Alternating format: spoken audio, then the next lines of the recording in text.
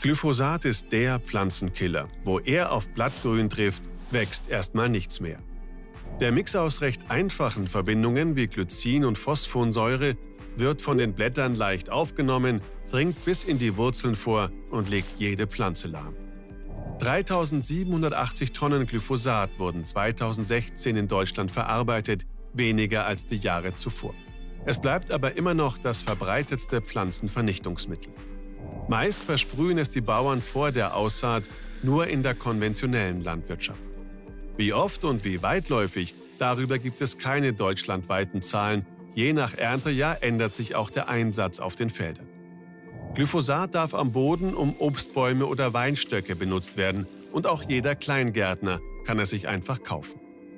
Vor allem in den USA und Südamerika werden extra gentechnisch veränderte Pflanzen angebaut, die dann resistent sind gegen Glyphosat, Gensoja etwa. Freie Bahn für den Einsatz gegen Unkraut. Die Risiken und Nebenwirkungen von Glyphosat sind heftig umstritten, genau wie die wissenschaftlichen Untersuchungen dazu.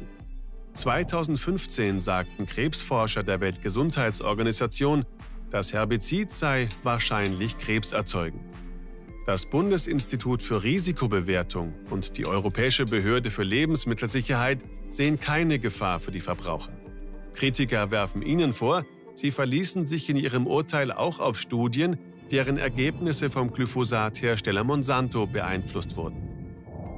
Die Befürworter halten Glyphosat für ausreichend erforscht. Die Folgen für die Umwelt seien im Vergleich zu anderen Pflanzengiften am geringsten.